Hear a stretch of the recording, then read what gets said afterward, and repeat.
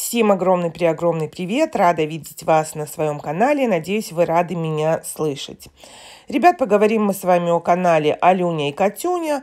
Эм, все просто, ну, хотя все далеко-далеко не просто. И обсудим новый влог. Едем проведывать наших девочек. Читаю, как написано. Значит, как всегда у них приветствие по очереди. У нас Калюня первый, да, а потом уже Алюня. Калюня все так кратенько, да, сказал, что, э, значит, будет интересно, будет прогулочка, говорит, сами посмотрите, комментарий напишите.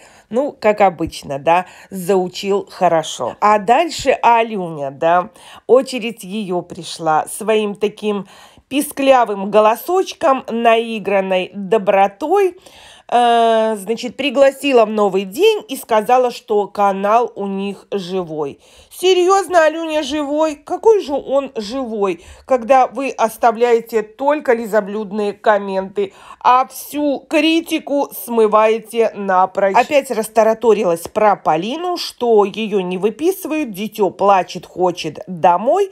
Ну, а там проблемы, э, видимо, с ребенком, поэтому их задерживают. Но Алюня как профессор сказала, сейчас поедем, все разузнаем. Говорит, перевели ребенка в недоношенные. Какие недоношенные? При этом говорит, но она не недоношенная, просто не добирает вес. Ребят, правда, для чего нужны такие прям подробности? Про эту девочку, про ребенка. Зачем это нужно трепать на весь белый свет? Дальше Алюня пояснила за карту, что они выставляют карту. И говорит, ничего здесь зазорного нет. Смотрела, что многие каналы выставляют карту, и миллионники выставляют карту. Да, выставляют на стриме, выставляют в описании. Такие же, возможно, наглющие, как ты, Алюня, выставляют. Но, видимо, не тех ты блогеров смотришь. Ну, понятно, вас же пиарят Виталик и Ангелина, Уралочка. Поэтому что здесь такого, конечно? Эти выставляют поберухи, и ты вместе с ними стала поберухой. Рассказала, что кто-то там перечислил некая Светлана ей 100 рублей. Говорит, безмерно там благодарный за эти 100 рублей. Говорит, и никуда мы эти денежки не потратили. Ну, конечно же, а на что можно потратить 100 рублей? На спички, наверное. Но потом сказала Алюне, что они собирают на новый телефон. Ну так и купите новый телефон. Вы же зарабатываете деньги. Кричала же, что Канал у них не ради денег. А теперь поберухой стала. Фу, стыдоба, Алюня, тебе. Да еще отвечаешь не подписчикам, а мне о, о том, что содержать вас должны ваши зрители и подписчики. Тебе такое и не пишут, Алюнь. Отвечаешь ты мне. И сидишь на моем канале круглосуточно. И комментарии тоже читаешь. Ну, хоть бы в конце концов привет передала. Потом она заявила, что у нее прям такой канал, что чуть ли не миллионник, да. И прям такая аудитория. Потом рассмешила, ребята, она меня. Говорит, ну, говорят, плохо это люди, которые сами ничего не могут сделать. Говорит, а вы создайте канал, соберите аудиторию такую. Не, мне, Алюнь, такая аудитория, как у тебя, не нужна. И что у тебя за канал? Ну вот чем ты хвалишься? Ну, понимаю, было бы у тебя там подписчиков, как у Уралочки, а то каких-то четыре с половиной тысячи и ни туда, ни сюда не двигается, а она прям кричит, что канал ее из депрессии вытащит. Ой, ребят, я на нее смотрю, да, пытается показать себя такой добрехонькой, прям благодарностями осыпает, да, а на самом деле стоит, говорит, а сама злющая-призлющая. И главное, что я услышала, говорит, и нигде нет такого, да, внимания, которое дарят им, да, на канале. Серьезно, Алюнь, нигде нет. Только один твой канал, который прям осыпает тебя вниманием и добрыми словами. Ну, критику ты удаляешь, конечно же, смываешь тут же, все подчищаешь, и остается лизоблюдство. Конечно, можно уже и похвалиться этим.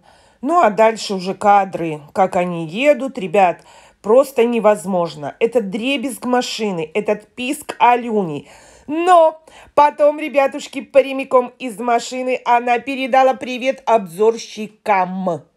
Интересно, каким кам? Когда обзорщица у них одна, да.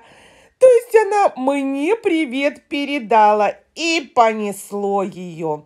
Алюнь, ты на своем канале работай, да, будь честной а то не вылазишь с моего канала. Ну, в принципе, я рада. Может быть, хоть к чему-нибудь да прислушаешься. Хотя навряд ли такая блогерица, как ты, ой, блохерица, вряд ли прислушается к нормальным, адекватным людям. Да, у вас адекватные считаются лизоблюды. И понесла она в сторону нас, ребят, такую чушь, просто капец, что она и показывает якобы людей, которых нельзя показывать, якобы и рассказывает то, что не надо рассказывать. Алюнь, вот скажу тебе честно, таких вот трепливых блохериц я еще не видела. Говорит, что мы кучка людей, да, обсирающих, а вот то, что сама в одиночку уже обгадила всех своих родных, то за собой она не следит. Брата вдоль и поперек уже перемыла, эту Полинку, мать Полины. И кого она еще только не обсудила? Про родителей рассказала Калюниных, да? Все, все перемыла вдоль и поперек, вынесла все полностью, весь ссор из избы. И про кого-то еще может говорить. А сейчас все, контент это внученька Калюнина. И теперь будут говорить только про Полинку, про малышку. И здесь вынесут, да, на весь мир все подробности. Я прям боюсь, что еще и подробности родов вынесет на всемирное обозрение. Дальше, ребят, под грохот машины она отмазывалась за булочки. И главное, что ей там комментарии никто за булочки-то и не писал. А отвечает она, ребята, нам. Алюн, ты на своем канале там разбирайся и отвечай. Че ты постоянно отвечаешь мне? Понимаю, ты главный зритель, наверное, у меня на канале. И опять, ребят, понесло ее за Семена, что она его сосисками кормит, да. Ну, это опять же тоже я говорю. Целый видеоролик посвятила мне, просто целый видеоролик. Ну, хоть бы сказала, кому посвятила, да, что вишенки на торте отвечаешь, а то якобы, что ей это все пишут, да, что все культурные коты э, едят якобы вискосы и китикеты, Типа, а у них не культурный. Какие вискосы и китикеты? Алюня! И при чем тут культурные? Коты должны есть кошачью еду. Как уже достало с этим своим Семеном и с этими вискосами и китикетами.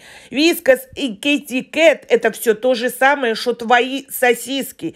Это самая настоящая отрава для котов. Дальше заехали в магнит, купили Полине сок. Ну, какой это сок? Это ерунда какая-то искусственная. Приготовила бы сама морс из замороженных яблок. Или, в конце концов, компотик бы сварила.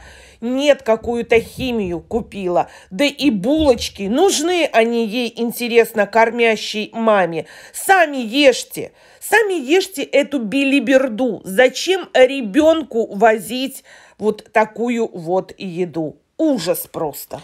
Ну и что, в общем, хочу, ребят, сказать. Что нам показали?